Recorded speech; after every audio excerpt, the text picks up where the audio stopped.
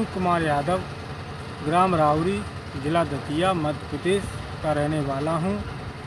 अप्रैल के माह में प्रधानमंत्री जी ने किसान संबंध निधि के थ्रू जो दो हज़ार रुपये मेरे खाते में डाले हैं, उससे मेरा बहुत सा काम चला है। मैं चाहता हूँ प्रधानमंत्री जी ऐसे ही हमारी इच्छाएँ पूर्ति करते रहें संकट की घड़ी के समय।